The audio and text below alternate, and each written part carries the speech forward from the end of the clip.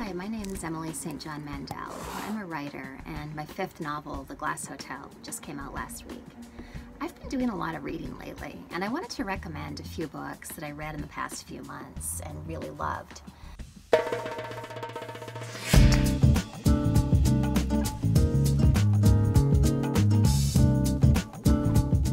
This first one's interesting. I don't read very many personal essays, it's just not usually my thing but I loved Sidewalks by Valeria Luiselli. Her essays have a depth of profundity to them that I really appreciate. They're very much about place. They're about her relationship to the city where she was born. And it's just a very wide-ranging and interesting piece of work. This next book is The Only Story by Julian Barnes.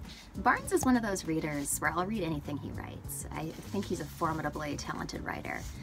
I, loved this novel. It's kind of haunting. It's a book I find myself thinking about a lot, you know, weeks after I read it. It's, it's a love story, essentially, that gets a little dark uh, between an older married woman and a much younger man in the 60s. And it's just, it's a novel that you won't be able to stop thinking about after you read it. This next book that I'd recommend is Broken Stars. It's an anthology of Chinese science fiction edited by Ken Liu, who is himself a really good writer.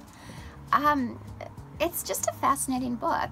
I wouldn't describe myself as reading a ton of sci-fi, um, but I'm just I'm just so impressed by this book. I'm fascinated by this book there are a lot of writers in here, so you just get an incredibly wide breadth of ideas and different types of writing, and and yeah, I just I loved it. It's the most fascinating book I've read in a while.